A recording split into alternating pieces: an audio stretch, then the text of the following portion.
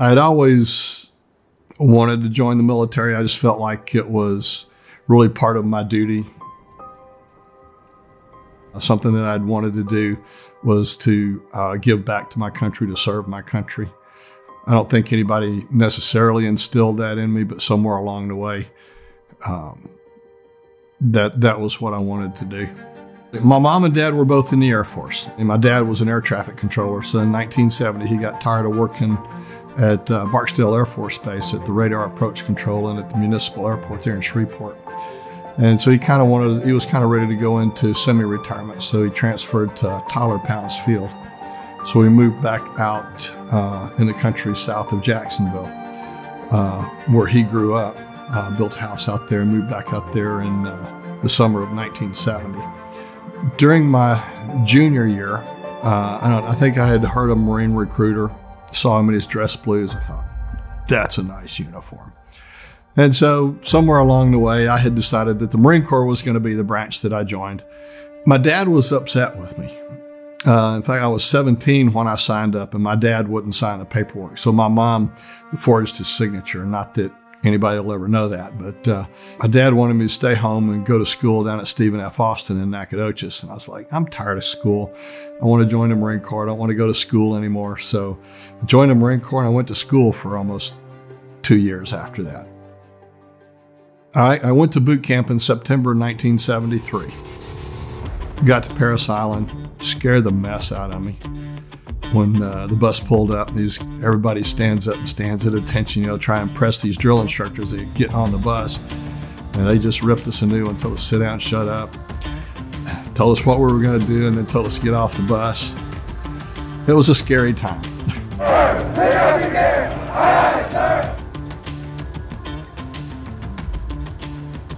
Vietnam was still going on, and actually, I, you know, that was kind of one of the reasons I joined. It was, you know, I thought maybe it was my my uh, part to to go and fight for my country. Fortunately, I didn't have to go. It was all still going on when we were in boot camp. We were we were still doing our training and everything as if you know some of us were going to go you know get sent to Vietnam. Uh, fortunately, I was not one of them. Uh, there were a group of four or five of us that call, got called out to go for an interview with some guy there. So we went over and we talked to him. It was an interview process. I guess looking at ASVAB scores or whatever, I scored halfway decent in whatever areas they were looking at. They had asked me to be a, a Morse or a non Morse intercept operator. I think all but one of us accepted the, the offer to go into that field. I worked for a naval security group for my 20 years in the Corps. Our school was in Pensacola, Florida, and initially I was going there as a Morse intercept operator. I remember watching one of our instructors one time playing cards, drinking coffee, and copying Morse code at 20 plus groups per minute. He'd sit there and hold the deck of cards, take a drink of coffee, put his cards down, type for a minute, and he did better at Morse code copying twice as fast as I did than I could sitting there focusing and concentrating on it. And so I, I, worked on it though. I tried and I tried and I tried. And finally they said, okay, you're not going to make it. So they put me over into non Morse code. And then from Pensacola, I went to Camp Geiger in North Carolina. Part of our job was uh, operations security or ComSec, communications security. So we would go out and we would listen to them for a little bit and figure out their net structure, who their who their headquarters element was, and then who each of the you know the companies or the platoons or whatever off that, listening to their call signs, and we'd graph it all out so we'd know who was who. Uh, and then we'd start breaking into their nets. So we would get them going to different places where they weren't supposed to be. We could jam, you know, one side and talk to the other, and then switch, jam the other side and talk to the other guys. And by doing that, like I say, we could we could get them spread out all over the place. As a German linguist, I went on a NATO exercise, and so we took uh, a jeep and uh, radio and a, and a noisemaker out with us, and we just went out and, and listening to the Germans and and doing the same thing that we did to the Americans. We would we would map out their their net structure and then we would break into their nets. If you're talking to one side, you don't want the other side to hear you talking to the, the guys they were just talking to and you claiming to be them. Uh, so you jam them so they can't hear to jam one side and then talk to the other. Um, that way, they, they can't hear you claiming to be them. So we did that to the Germans, and they actually had to they had to stop the exercise for about two hours while all the German troops got back together to where they were supposed to be. We had them we had them spread out all over the countryside. So, and then after the exercise was all over, we'd come back in and we would go tell them this is what happened and this is why. Again, trying to teach them the importance of, of security while they're on a clear radio channel. Uh, I got promoted, so I got short toured and uh, ended up going back to Pensacola and studying electronics intelligence, which was radars.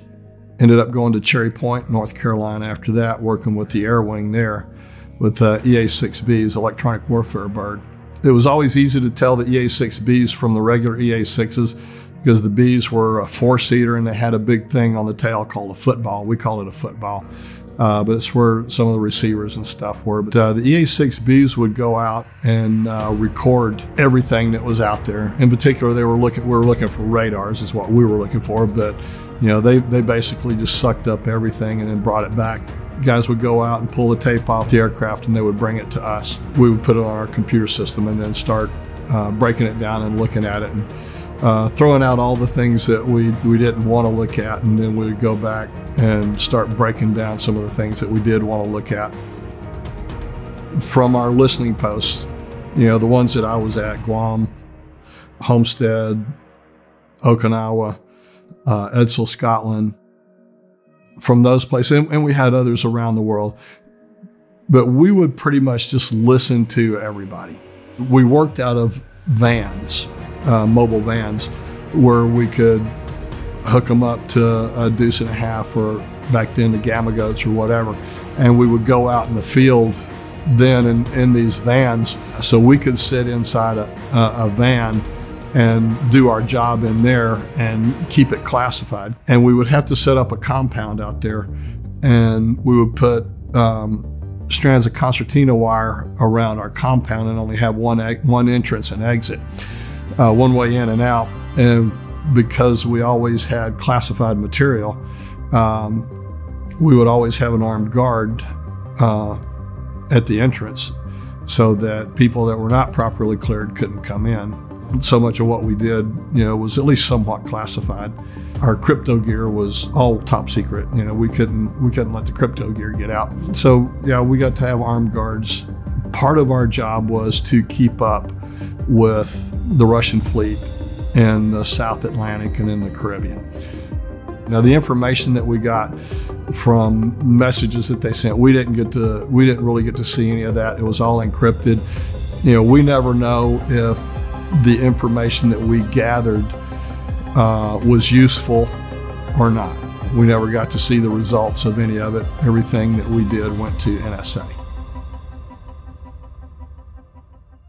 I got selected to be the first Marine to teach electronics intelligence to uh, Navy and Marine Corps personnel in Pensacola, Florida. Um, that was a lot of fun. The, being the first Marine instructor there in the electronics intelligence building, the Navy didn't know how to deal with me. So um, it was always good to be able to be in a position to uh, to give the Navy grief because that was that was part of what Marines do um, be the troublemaker. While I was in Pensacola and, and I got short toured there, um, I had applied for uh, the Senior Enlisted Intelligence Program in Washington, D.C., and I got selected for that. Um, so I went to the Senior Enlisted Intelligence Program at the Defense Intelligence College at DIA in Washington, D.C. We worked with the Coast Guard out of Miami and, and Key West, Florida on drug interdictions. One of our visiting professors was from the University of Texas at Austin. He was a computer guy and he developed a program. We put all the information in it and the computer, we'd have to let the computer run for about 24 to 36 hours to filter all the information. And right now, my phone would probably do that in about two or three minutes. But the computers back then were pretty slow. But um, we would we would take that information that we got and we would send it to the Coast Guard and the Coast Guard would use it. And basically, what we were doing was we were telling them these are the areas where your drug interdictions should be the highest. And so they're like, okay, let's check it out. And, and, it, and it was working. Their drug interdictions rose significantly. And so we kept doing that. And then when we had our, our Christmas break, we got to see drug interdictions drop. And when we came back and we started doing running the program again, drug interdictions kind of went back up. So it just kind of solidified to us again that that what we were doing was something that was making a difference, you know, at that time anyway. I did my last year in San Angelo, at Goodfellow Air Force Base there. The Marine Corps had looked at one time years before about moving their electronics intelligence school to San Angelo. And so they had some Marine instructor billets there. And while there had been no Marines there for several years at least, there was still a billet there. And so that same buddy of mine was in DC as our that transferred us everywhere. And so I was talking to him. He said, Yeah, I can stick you in it. They're not going to like me for it, but it's an open billet, so I can stick you in it. And that was as close as I could get to East Texas. My grandfather was in the hospital. He was dying from uh, colon cancer. And so that's why I really pushed for that.